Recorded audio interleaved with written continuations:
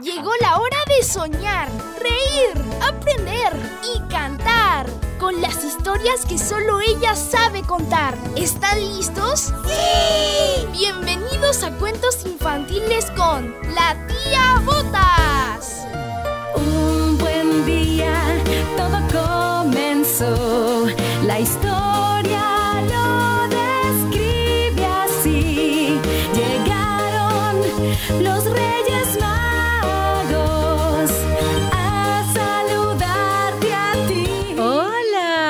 ¿Qué tal? ¡Feliz año!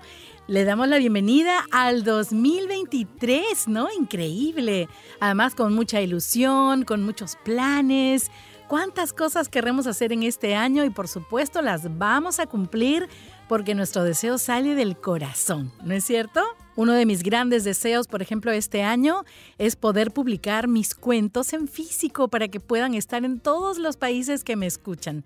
Así que ese es mi gran deseo para este 2023. Ya me contarás en tus mensajes de voz cuál es tu deseo de este año. Ok, los espero, ¿ah? Ya saben que mejor dejen sus mensajes en el Facebook porque ahí no se borran. Lamentablemente en Instagram, si en dos días no los escucho, se borran.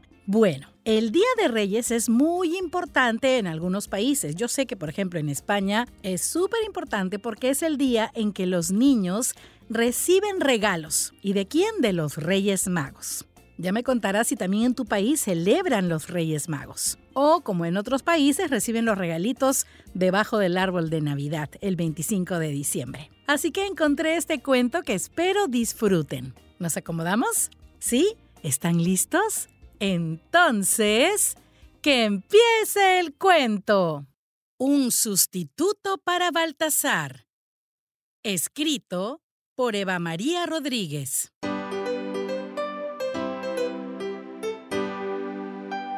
Melchor, Gaspar y Baltasar preparaban su equipaje un año más para salir a repartir regalos la noche del 5 de enero. Era un equipaje muy grande, pero ligero a la vez. Menos mal que tenían mucha ayuda. Muchos pajes que se encargaban de todo.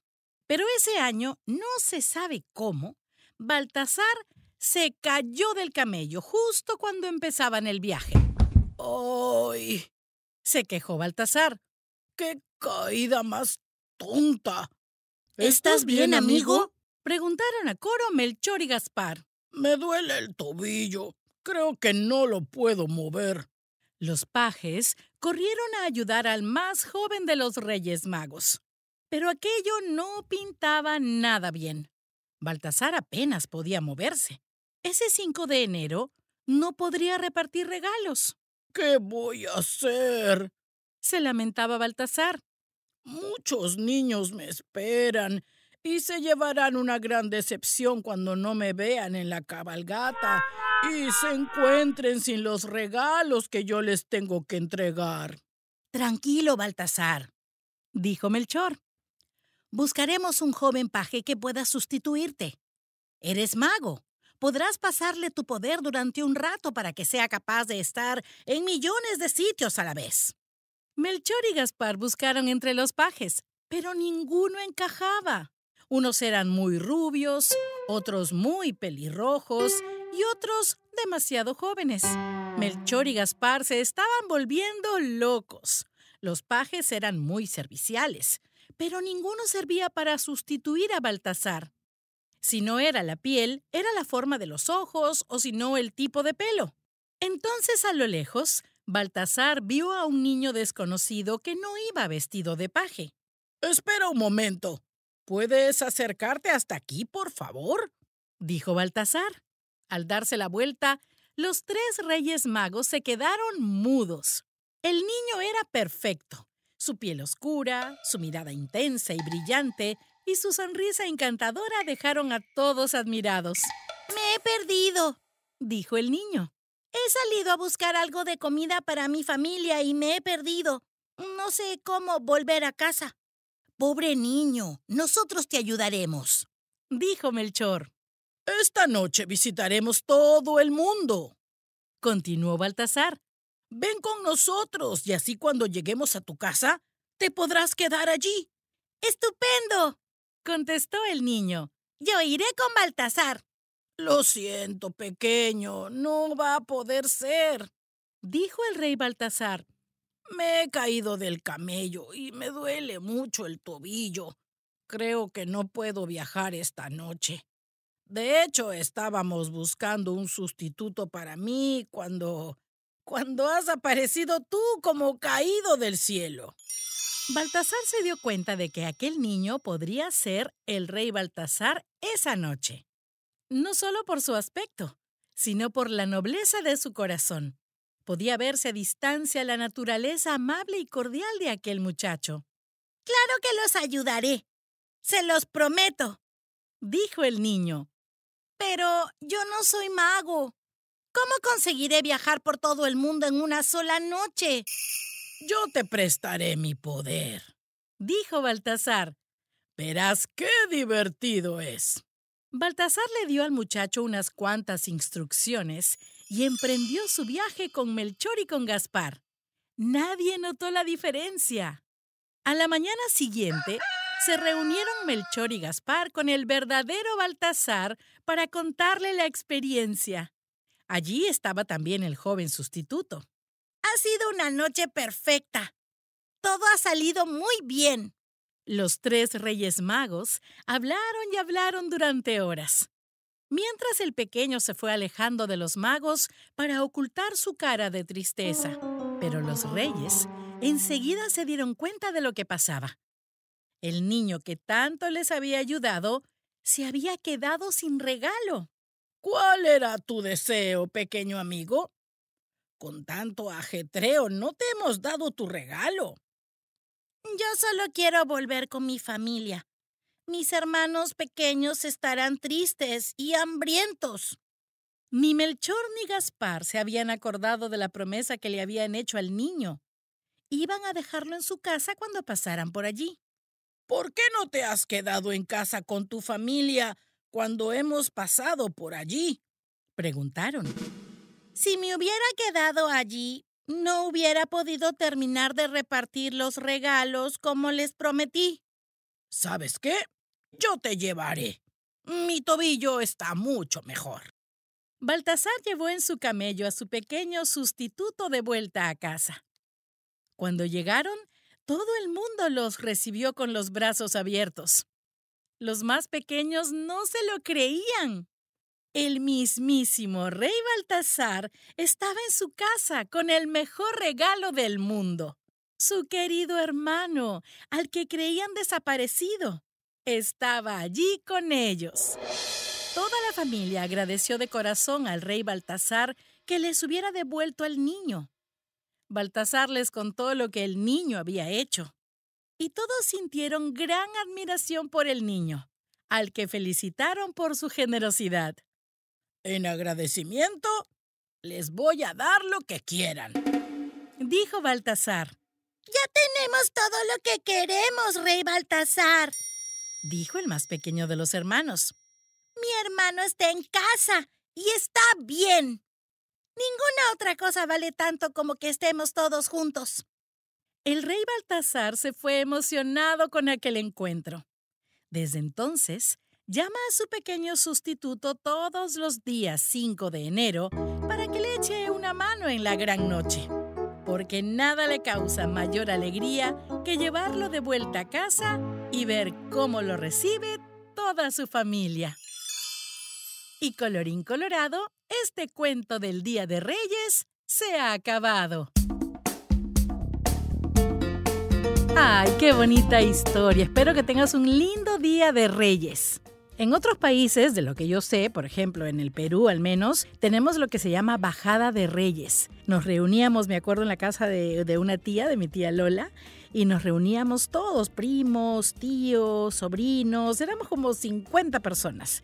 Y había, por supuesto, comida y música. Pero ¿por qué se llamaba Bajada de Reyes? Porque cada niño, cada persona pasaba por el gran nacimiento o Belén, como también se le conoce, y escogía, por ejemplo, la vaquita, el burrito, eh, un arbolito, lo que sea, y lo era, era como desarmar en familia el Belén, ¿no? El nacimiento. Y así tengo esos recuerdos de mi niñez. Bueno, hay otros países que celebran el paso de los reyes y hay un desfile y todo, ¿no? Como sucede en España, ¿no? Recuerdo haber estado en un desfile con, con los camellos y los reyes, muy, muy lindo. Bueno, vamos a hacer una pequeña pausa y regreso con las preguntas. ¿Sabes qué me gustaría? Invitarte a visitar mi página web, latiabotas.com. Allí encontrarás los enlaces directos a mis redes sociales, a mis videos educativos en YouTube, escuchar todas mis canciones en Spotify, comprar la versión ebook de los cuentos de los amigos del mar, así como la versión bilingüe de Orlando el Pulpo en libro físico. Te espero en latiabotas.com. Hoy vamos a terminar bailando, ¿ah? bailando y cantando con la canción de los Reyes Magos, así que no te muevas. Vamos rápidamente con las preguntas. A ver, pregunta número uno. ¿Cuál de los Reyes Magos se cayó de su camello?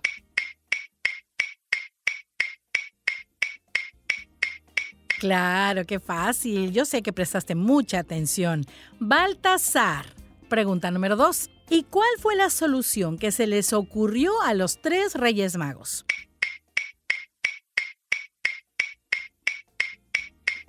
Correcto, buscar un sustituto. Pregunta número 3. Y cuando finalmente encontraron a este sustituto, ¿quién fue?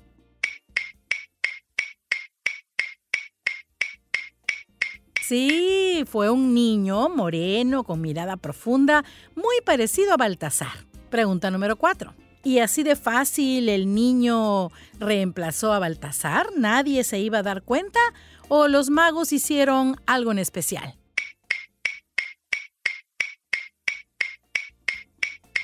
Así es, Baltasar hizo magia para que nadie se dé cuenta. Última pregunta. ¿Y qué regalo recibió el niño a cambio de su buen corazón?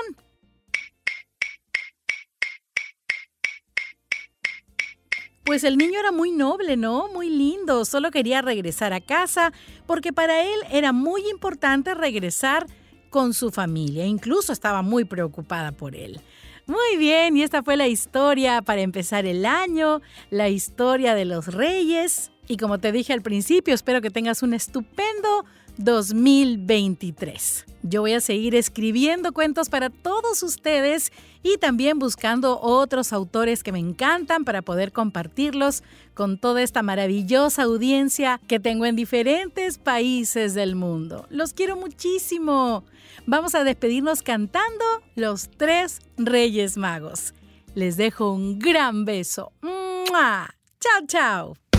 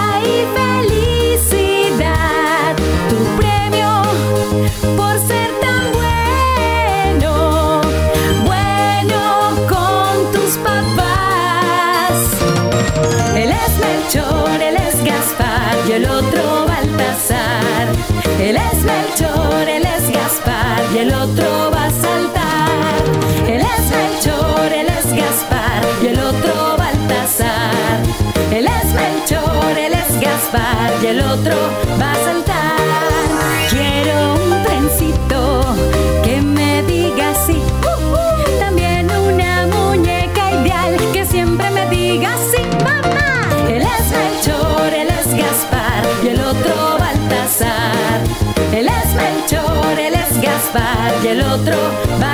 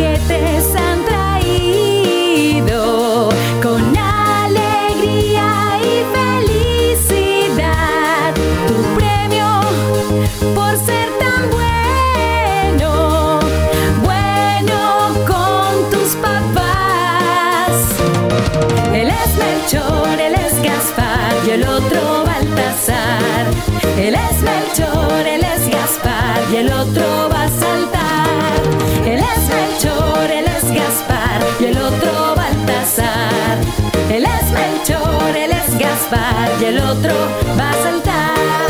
Quiero un trencito que me diga sí.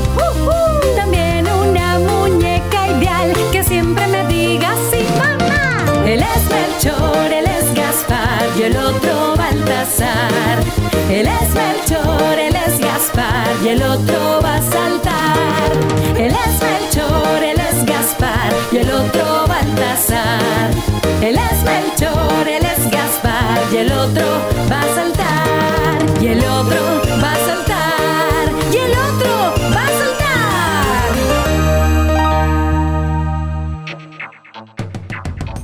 Acabas de escuchar cuentos infantiles con la tía Botas. Te esperamos en el siguiente episodio para seguir disfrutando de muchas historias para soñar despierto.